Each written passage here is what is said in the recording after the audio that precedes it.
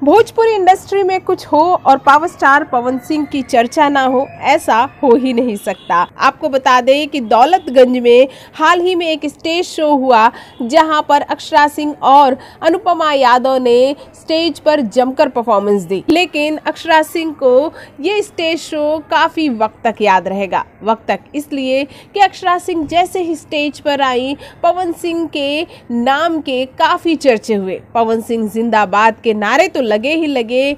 सोने पे सुहागा ये हो गया कि अनुपमा यादव, जो कि पवन सिंह के कई गानों से भोजपुरी इंडस्ट्री में आजकल छाई हुई हैं, उनके साथ उनके कई बेहतरीन गाने हैं। तो ऐसे में अनुपमा यादव का तो सॉन्ग गाना अपना बनता ही था। उन्होंने भी पवन सिंह के साथ अपनी हरी हरी उड़नी वाला सॉन्ग गाया।